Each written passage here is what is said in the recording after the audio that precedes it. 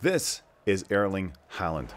Erling Haaland is one of the most prolific goal scorers in all of modern soccer. Now, he is a phenomenon from Norway who plays for Manchester City, and this man averages about 0.81 goals per game. Now, at the professional level, at the high level that they are playing at, this is almost unheard of. Now, this is Pep Guardiola. Pep is the manager of Manchester City, one of the best managers of all time, in my opinion, next to Sir Alex Ferguson.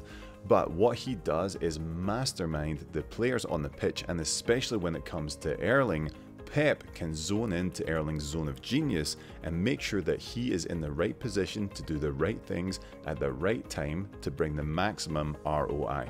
What's up guys, Lewi here, welcome back to the channel. Now, if you're saying to yourself, mm, why are you talking to us about soccer? Don't worry, it does relate to real estate and productivity, just give me a second to explain.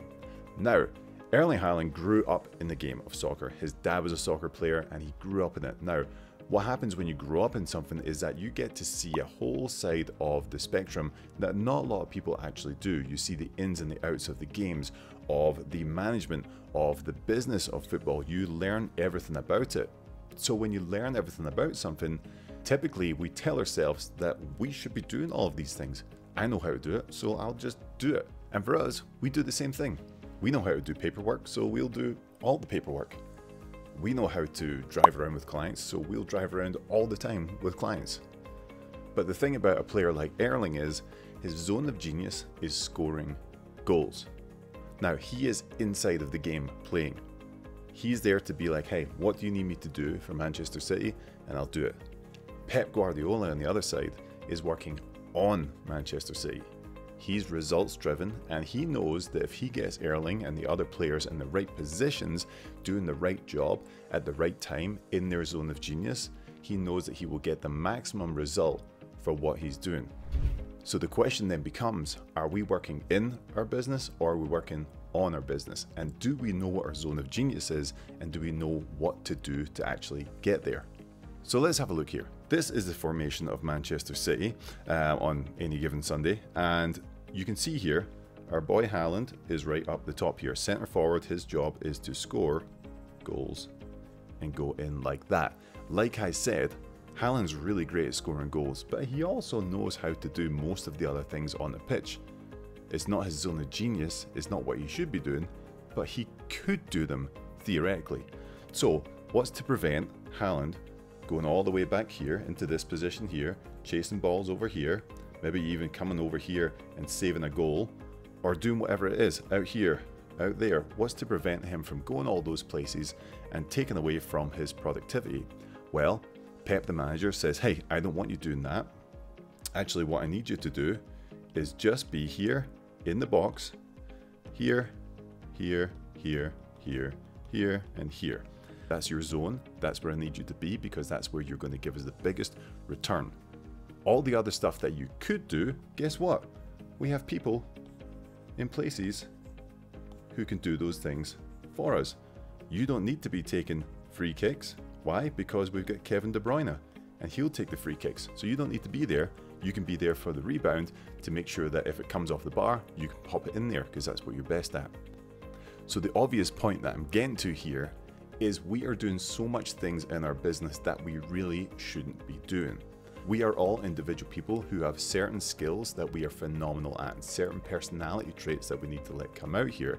But we're too busy working inside of our business and trying to put out fires in every single department and doing every single task that comes up that we just can't focus on the stuff that's actually going to give us the biggest return of investment in our business.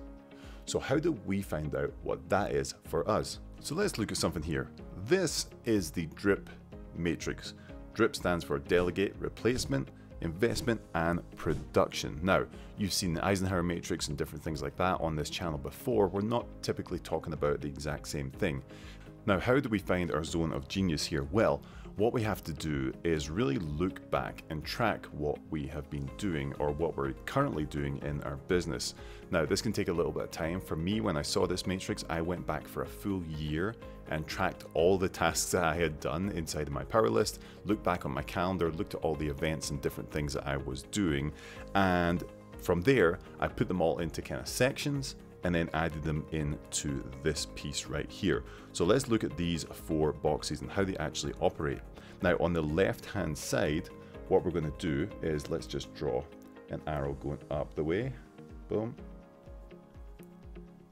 This is all about money. How much money does it make? Does it bring back an ROI on your time? And on the bottom here, let's draw another here. This is all about does it light you up? Okay. Does it make you feel good? Do you love doing it? How does it make you feel? That's a sun, by the way. I know my drawings aren't great. But so on the left, we've got this axis of how much ROI, how much money does it make you? And on the right, on the bottom, sorry, we have got does it light you up? Does it fill you? Does it is it passionate? Like are you loving the things that you're doing? And really what we want to be focused on then is this box here, right? Because this box means that this is the stuff that's lighting us up that we love doing. So what I'm going to do is I'm going to put all of my tasks from last year in 2023 into the boxes so you can see exactly how I am working through this process. So let's go ahead and add those in. All right, here's one I made earlier. okay, so this is everything for me that I've added into this drip matrix. Now you can see that there's a lot of stuff in here and the top right hand corner, this production piece, the stuff that lights me up and the stuff that makes me money is the stuff that I really want to keep doing that I love. And this is stuff that really can't be outsourced. So let's take a look at this. Atlas calls. This is my mastermind that I run with Mike Sherrard. I love, love, love, love doing those calls. And it brings an ROI, right? It brings back the membership um, that we have on that. Agent calls uh, this is when I talk to agents about joining our group, joining our team. Love doing that too because it's all about helping them kind of look past what they're struggling with and how we can help them moving forward. Um, course building, uh, I have a time management course coming out here in the very near future, so I love doing that.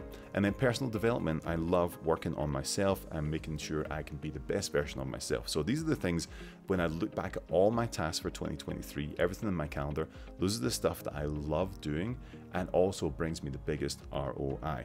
Now, let's take a look at the replacement. What does this even mean? Well, these are tasks that do make money, right? These are things that actually help bring income into me, but they're things that I don't really enjoy anymore or that I need to replace. Now, Elevation is my group inside of EXP. Now, don't get it twisted. I love these calls, but what is lacking there is that I don't love teaching because I'm going over the same things over and over and over again. What I need is new, fresh blood to come in and start to share their ideas about the business and teach the agents on those calls. So that is a replacement piece for me that I need to get situated in 2024. Now, the next one is the billing for Atlas and the support for Atlas. Again, I hate doing that stuff, but does it bring in income? Absolutely. Why? Because fulfillment matters with your clients, with whatever you're doing.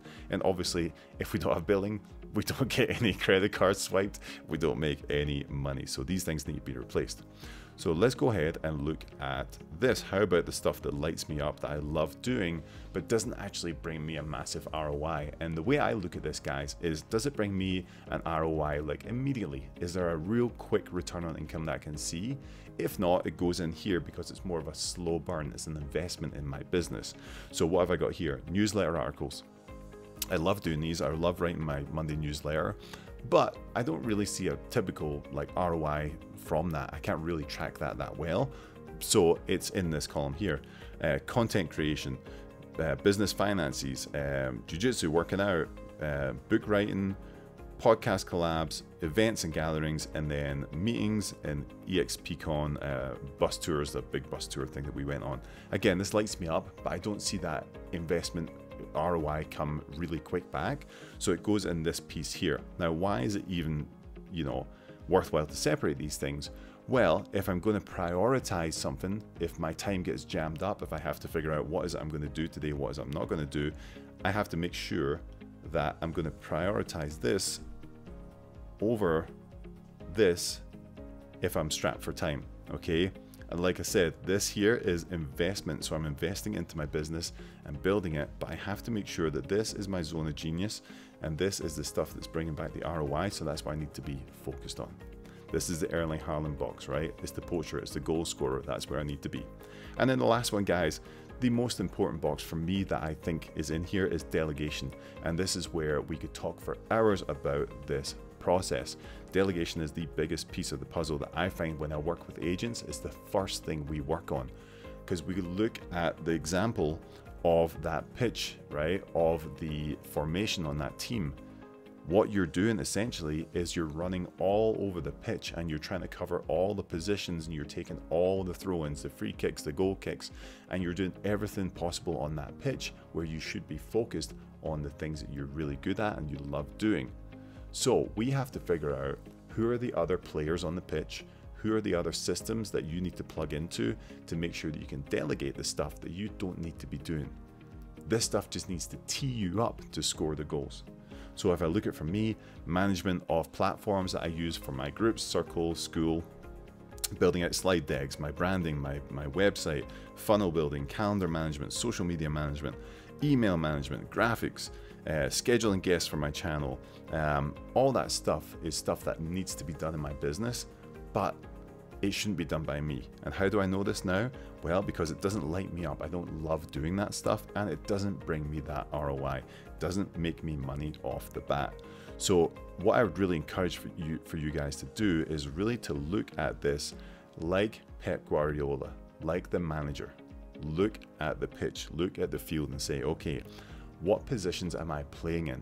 Am I trying to cover all of the grass? Am I running from one end to the other like a headless chicken? If that's the case, you need to really start focusing and zoning in to where you should be working on your business. Because if you can find that zone of genius, if you can find the spot in your business where you really light up and it makes you money, what's going to happen is your business is going to grow exponentially because you're focused on those things. When you're doing stuff you love and makes you money, believe me, you want to work more. You're on it every day. You love do what you do and you've bought back your time because you've delegated, you've replaced all these other things that you shouldn't have been doing in the first place. And now they're off your table. Guess what? You have more time for your zone of genius. We've added more playtime on the field for you to be in the box to score the goals. And this is how the drip matrix comes into play. So just like Erling Haaland, you may be tempted to play the whole game because maybe you love it. Maybe you just can't figure out what it is you love to do. But you really have to take a seat in the office like Pep Guardiola, the manager, sit down, look at the play, and be like, okay, where is my zone of genius? What lights me up? What makes me money? I need to focus on that. How can I get rid of everything else? And how can I put the things that are really going to build my business onto my shoulders and everything else onto systems, processes, other people, VAs, TCs, everyone else you need to hire to make a successful team for your real estate business. So if this makes sense to you, if you found this useful, drop a comment below. I'd love to hear from you on this topic. If you haven't subscribed to the channel, you can do so. That would be awesome too. We have a newsletter that goes out every week. We have masterminds. We have all the different things going on inside of our ecosystem. So you can check out the links below in the video description. And until then, I'll see you next time.